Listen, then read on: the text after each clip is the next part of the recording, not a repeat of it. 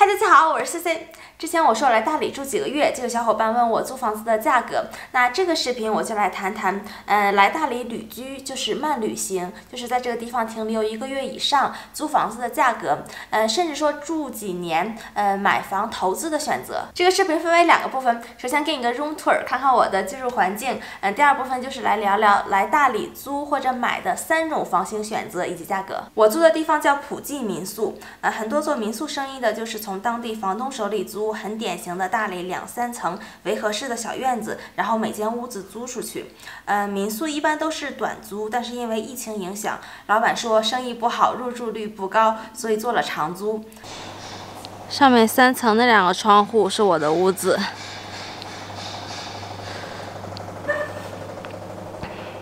嗯，厨房在一楼是公用的。嗯，你老是冲我叫。嘿嘿，这边快递就在一楼，然后这边客栈底下有一个小区域是房东自住的。这个是走廊的样子，也是阳光明媚哦。这就是屋子里整体的样子，我做了很大的挪动。这是一个厅的位置，本来这有一个沙发，被我挪到了那里。那我跟你细说。这里本来是有一个电视的，就是那些砖都是这样平铺的，上面有一个电视。因为我不看，所以说我让老板给它搬了出去，然后把砖挪到一边。然后这边就是做瑜伽倒立，这样就是两侧没有东西，比较安全。然后这边的景色很好，两个大窗户。嗯，那边有点雾气，其实应该能看到洱海的。然后看看楼下，就典型的这边的房子就是围合式的院子。然后这边有镜子、绿植，那个行李箱是个摆件。这边还有哑铃，嗯，这个房间就是清水混凝土的工业风。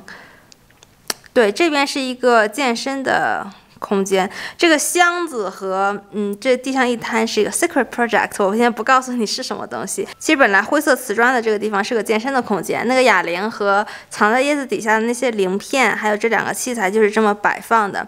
但是我健身只需要这个大的空间，徒手健身就好。这个房间没有桌子，它就是一个小茶几嘛，太矮了。但是我一定要用电脑的，所以老板就现给我拿了一个折叠桌。嗯，对，这就是我办公的区域。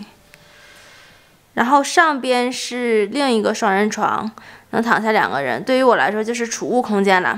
然后我这个人有点强迫症，你看就是那个书架对我来说看着没有用，就是所有没有用的东西我都堆到了上边。上面还有我的行李啊，在里边看不到。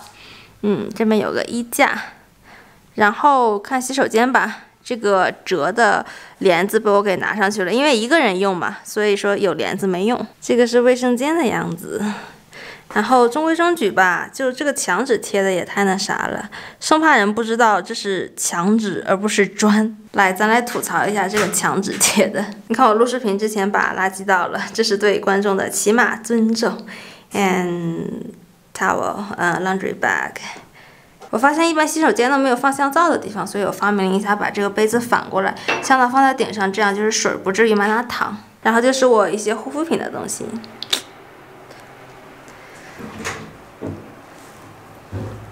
然后再来看看床这边，他是我的床友，不付房租的床友，哼。这边没有隐形的衣柜，所以常穿的我就摆在这里。嗯，然后这里是呃化妆的东西。我觉得卫生间太暗了，所以化妆习惯在窗边儿。嗨，哦对，这边的两扇大窗户呢是朝东的，然后采光非常的好。然后这两扇小窗是朝南的，所以一天都会有阳光。墙上的装饰还不错。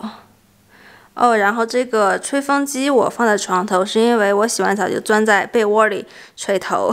很重要的电热毯，云南这边早晚温差大，而且大理冬天还是蛮冷的，所以说有个电热毯很必要。那边是空调，但是因为这个屋里太大了，所以说空调没起什么作用。啊，这个区域你看原图本来是一个坐下来喝茶的地方，但是我来不是天天喝茶的，所以我把那些东西都扔到了 楼上。然后这边就是把沙发搬过来，然后小茶几搬过来，嗯，就是一些基本的燕麦啦、黑巧克力、红枣、一些水果，然后我的两个可爱的椰碗。这个是用来喝燕麦粥的，然后这个是用来就是去吃斋饭，能盛下很多饭菜。哦，这个比较突兀，是因为我在网购了几个椰子，嗯，用来开椰子的。啊，自己的餐具，然后这个沙发的垫子被我用来做运动的保护了，呵呵。然后就是多余的凳子啦。这个房间对我来说的确有点大，有点空，有很多没有必要的东西。呃，这个浴巾放在这是因为天台上有一个躺椅，有点脏，所以我每次去天台晒太阳的时候，都要把这铺上。OK，整体看一下格局，虽然里头的东西已经被我挪的不像原来的样子，但是为我所用嘛。这个灯还是蛮有感觉的。反正我是越来越极简主义了，我喜欢空的地方，像这个空地，晚上可以用来跳舞自嗨。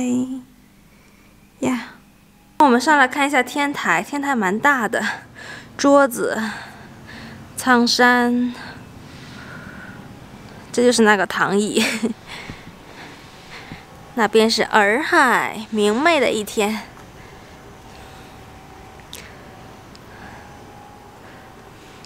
然后那边是洗衣服的地方哦，从这里能看到我的屋子，看那两个大窗户，我的屋子。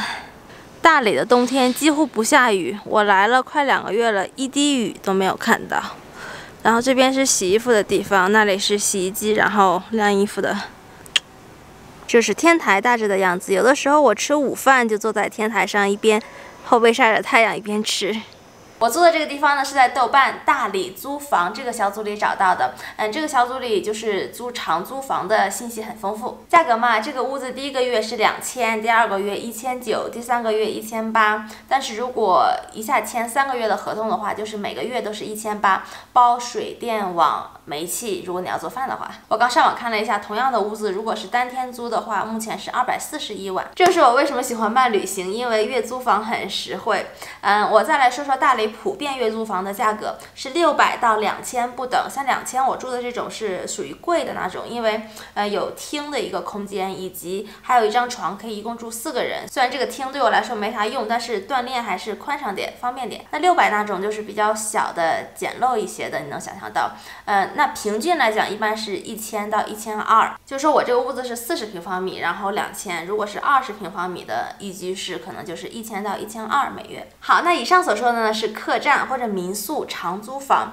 那第二种房子的选择呢是盘下老院子。老院子呢就是原始的当地村民住的房子，大概分为两层。你接手之后要进行改造，无论是院子的除草，然后水电网要重装，然后打个新的灶台，嗯，重装玻璃等等。比如这个图。二层的防护玻璃就是后加的，嗯，这个玻璃也是改造过的。当然，这种老院子也有很原始的这个样子，然后也有好稍好一点的这样子。最小的老院子可能有两三三间，嗯，最大的老院子能有十间。你要是想做民宿，可以租大的，然后来改造。你要是想自己住，就租小的，没改造过的，大概一两万一年，嗯，但是你要加上改造的成本，然后一般都是长租，至少三年五年吧，因为短租不合适，你要改造嘛。长期的呢，你可以租十到十五年，你。也可以买下来，当然老院子有大有小，所以这个价格差异还是蛮大的。这边卖院子啦、租房啦，就在这边贴小广告。所以说，你如果锁定了一个区域，你就在大街上溜达，就能找到找到这种信息，可能比你在豆瓣小组还就是定位精准。那这里插播一条，租以上两种房子，民宿和老院子，我要提醒你两点：一是要离市场近，民以食为天嘛，有新鲜的瓜果蔬菜以及熟食，会让你的生活方便很多。二是这边有很多做木工的作坊，嗯，以及因为旅游热门地，很多客栈在装修，所以会比较吵。你看房的时候，周围的这种噪音因素你要考虑到。那第三种就是别墅小区，就是商品房了。自从海南限购以后，云南就成为北方人避寒或者投资的首选吧。大理比较有名的是银海山水间，目前已经建了好几期了，大部分是联排别墅。我在网上找的图，嗯，我拜访了一个朋友，他就住在山水间，第几期我忘了。那拍的这两张图呢，就是他窗外的景色以及阳台的一角。呃，绿化环境都蛮好的。嗯，他租了三室一厅，是个顶层，然后有一块整个屋顶都是玻璃，采光很好。嗯，是五万一年，大概是四到五年的合同。还有一个小区叫大理的小院子，不是刚刚说的老院子，这个小区名就叫大理的小院子，也是独栋级联排别墅。嗯，这个我去看房了，但没有拍，感觉它外部环境很好，但是内部装修很普通。啊，这个小区还有配套设施，我就读了啊，三千五百平米大型会所。会所内健身配套一应俱全，健身房、网球场、游泳馆、壁球馆、桑拿、SPA 等。总之，山水间、大理的小院子这种别墅小区，买的话均价在二到二点五万一平米。OK，那我再来总结三种房子怎么选。如果你想图便捷，嗯，住几个月就走，想住在这种白墙青瓦改造好的房子，那你就选民宿或者客栈的长租，就像我这样。这种长租也可能是房东自己把自家院子腾出一两间租出去，但是视觉效果肯定没有呃民宿好看，但是房子的类型是一样的。那如果想常年住，自己拥有一个有感觉、有情调的院子的话，就租老院子来改造。但是你也可以租改造过的老院子，当然这个价格就不止一两万一年。当然这样比较。省心，毕竟没有经验的话，改造一间房子是一项大工程。嗯，所以盘下这种老院子，你多出的屋子，你也可以租出去当一个小的民宿老板。那联拍别墅 （A.K.A. 商品房）这种的话，就是你既想享受风花雪月的乡村生活，你又想住上现代化、配套设施齐全的房子。这种的话也比较适合养老或者投资。All right，我说完了。来大理认识了很多人，都是全国各地来旅居或者定居的。大理有它的魅力独特之处。从北京到纽约到深圳，在大城市生活了近十年，现在我开始探索不同的生活方式。那大理先带你了解到这儿，之后我们去哪儿？后会有期。拜，下个视频见。哦，屁股坐麻了。